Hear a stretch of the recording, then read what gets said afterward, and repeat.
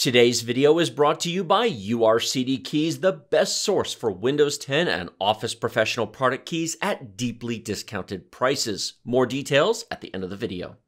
Scott comes in with a different type of question that doesn't get asked very often, but maybe should.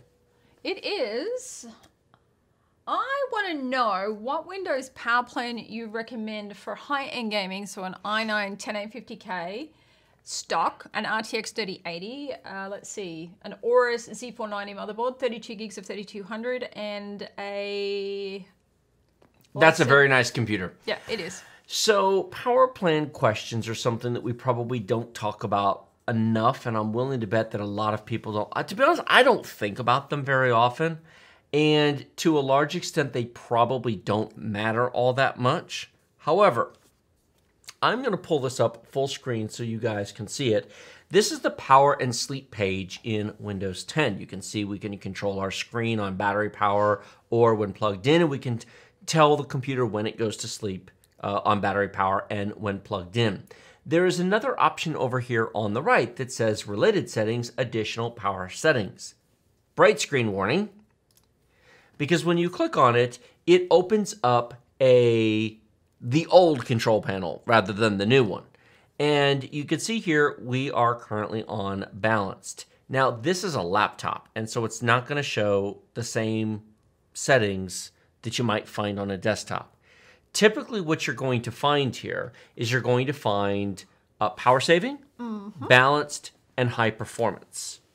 And depending upon which one that, whether you're a laptop or desktop, you may have uh, different options there. If you have an AMD desktop and you have the AMD drivers installed, which you should, in fact, they now have the automatic driver uh, search engine do both chipset and video card drivers, so totally use the uh, the automatic system. It works very very well. I've switched to using that. Then you also get an AMD Ryzen balanced option in the list. Ooh. On my AMD systems, I use the AMD power plan.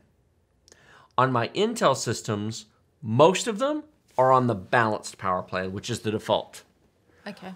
On my i9 9900K at home, I'm on the high performance plan.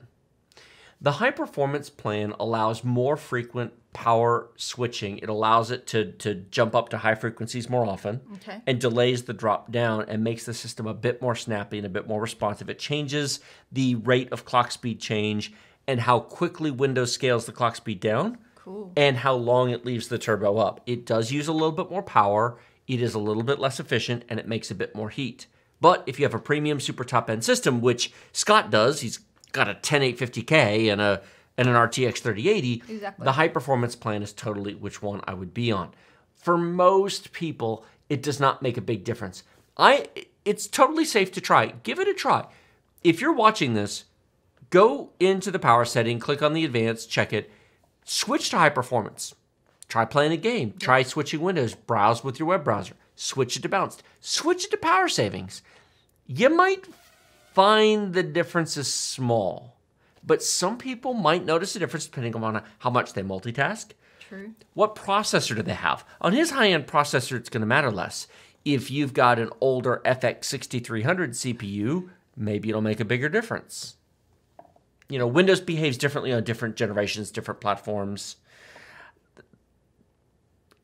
It's one of those things that's there that might matter, but probably doesn't to most people. But how, worth trying.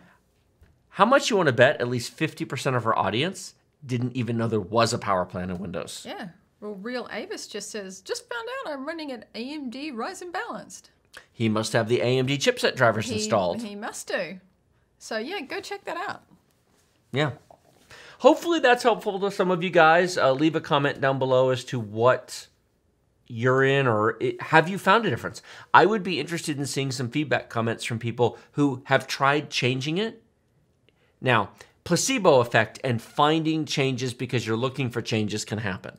I changed it and uh, yeah, it's faster because I wanted it to be faster. That's the thing.